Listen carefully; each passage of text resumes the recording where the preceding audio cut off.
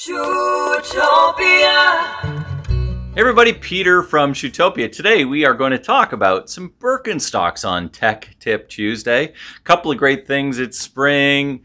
People love their Birks, and all of that goodness is happening. The sun's shining, the snow is gone, and it's back. If you haven't worn them all summer or, or, all winter in the house as slippers, it's time to hop back into some Birks. And that's why I wanted to roll through some different things. So we're not going to get too much into the specifics of how Birks are made today, but we are going to talk about fitting and some of the different things that Birkenstock is doing these days with their footwear because there are some different things that you need to know when you buy Birks if you aren't a perennial Birk buyer. So so the biggest thing with Birkenstocks, I mean, of course they have different styles, but the biggest thing with Birkenstock is they have two different footbeds. If you see this little black footbed, that means it's a narrow fitting footbed. Now on shoetopia.ca, we always call out with all of our Birkenstocks, whether it's narrow or normal, when you go to shoetopia.ca and look at the Birkenstocks. But if you're in store, you'll see the little black footbed, the filled in footbed, that means that it's normal or narrow. If you see an open footbed, more like this one, where it's it's kind of an open shape to it, that means it's a normal footbed. So it's a little bit wider. If you look at them, you can see, you know, just it's a little bit wider at the forefoot. It's a little bit different fit. The arches alignment a little bit differently as well. So if you're a wider fit, you want the normal footbed. If you're a narrower fit, you want the narrow footbed. Now, typically with Birkenstock these days, we used to be able to order pretty much the same shoe in all narrows and normals. Typically these days, they're most of the narrow footwear is only in women's sizing and most of the normal footwear is only in men's sizing, but there's a few pieces like this one that are normal for women, but Birkenstock corporate is gone to their own sort of layouts of those kind of things. So that's something to keep in mind too. You may not be able to get the actual shoe that you like in a narrow or a normal. It might be a narrow it might just be a, a, narrow or a normal. You might not be able to get a choice of those anymore. Like we used to have a lot of different choices, whether you want narrow or normal. So from that perspective, it's just we're we're uh, selling what we're basically allowed to sell and what they're offering us. But you do need to know that there's some different fits there. A couple of other things with Birkenstocks is that um, Birkenstock uppers are not always leather.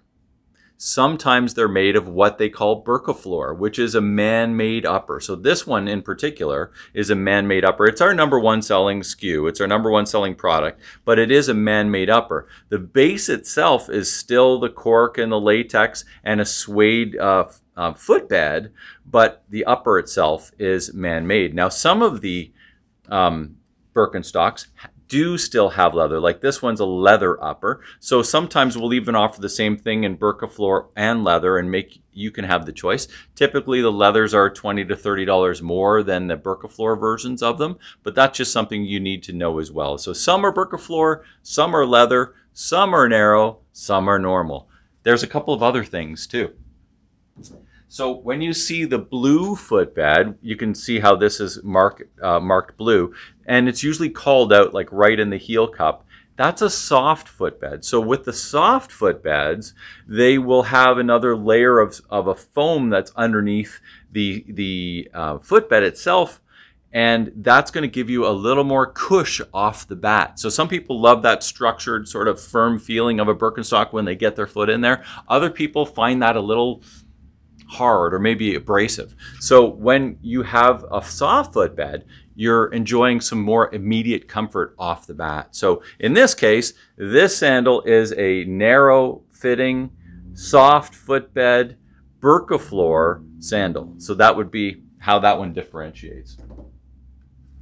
The other thing they did was come out with the ones that have green writing. So if you see one that's a, a green writing on your Birkenstock, that means it's vegan and certified vegan.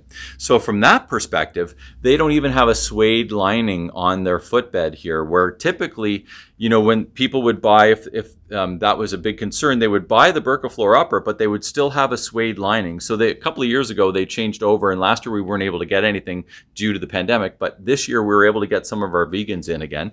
So if uh, that's an important piece of your puzzle, then we do have some that are vegan this year. So you don't have the suede lining here. You do have the Birkoflor upper, and you can get, with Birkoflor, a lot of times they can have some more fun colors and things like that. With the leathers, you're sort of stamped down into some plain more, let's call them more plain and straightforward colors.